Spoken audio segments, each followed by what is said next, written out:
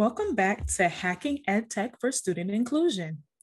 Today, we will be looking at how to utilize the website Edpuzzle to design effective and engaging asynchronous lessons for your students. First, let's review some of the essential questions that can be answered using Edpuzzle. What are multiple ways you are setting up an environment and creating activities to engage and include all students? How are you providing student choice to express and demonstrate their knowledge in multiple ways?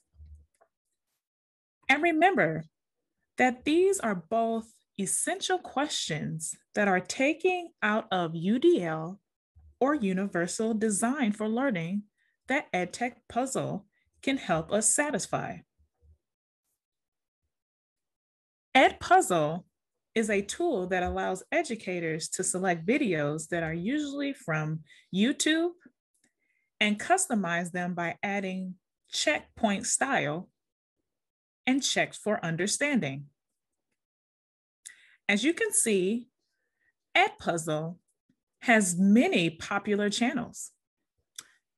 Edpuzzle has YouTube, Khan Academy, National Geographic, TED Talks, and many other crash courses.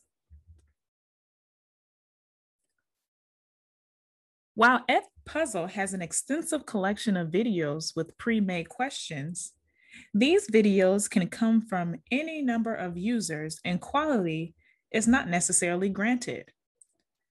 We recommend that you add your own questions which only adds a few minutes to the setup process. You will want to quickly create a class to help organize your students. And this is accomplished by simply sending a link to students in a certain class period or section. As you can see, we click here, add a new class, of course. As you can see, it says name. We're going to put in for our example, tutorial class. And as you can see, it tells you what type of grade level you're working with. So if you're a first grade teacher, second grade teacher, third and beyond, we're gonna pick fourth grade. And we're gonna make sure that this tutorial class is centered on social studies. Next, you are ready to select your video. As you can see, there are numerous high quality channels again that you can filter your search. So since we are doing a tutorial in a social studies class, we're gonna go ahead and pick National Geographic. You then, by then, you can go into National Geographic, type your particular topic, and you can watch an amazing video that is not too short or not too long. Five to 10 minutes is probably an ideal length to look for. This way, it's worth the time that you're putting into it. But it's not so long that students are going to be worn out just by watching the video. So you can see here, I have selected National Geographic and now I'm going to move forward into looking at other options. So we can go ahead and get out of that. We picked Ancient Greek 101.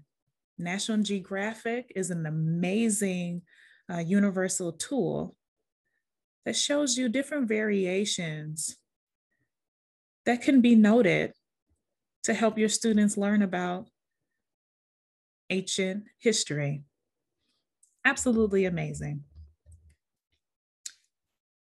Another function of Edpuzzle is voiceover. We ask and we recommend that you don't use that unless you're really interested in because it has a lot of mixed results. As you can see, here we have multiple choice, open end, um, we have curriculum, my contact, This space can hold multiple lenses to help your students to engage and filter out videos. Sometimes YouTube can have a lot of different unnecessary videos. So, what Edpuzzle has done, it has allowed you to filter out content curation videos that can get to the bottom of what your students or your curriculum wants. So, from student advice to educational talks or how to study education, there are videos that can help you engage. Overall, Edpuzzle is a great way to design an effective, engaging asynchronous lesson for your students that can be used as homework or for day to day live instruction.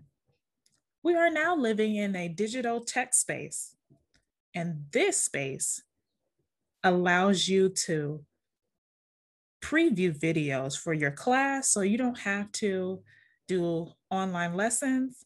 This gives you another opportunity to engage your students in the classroom.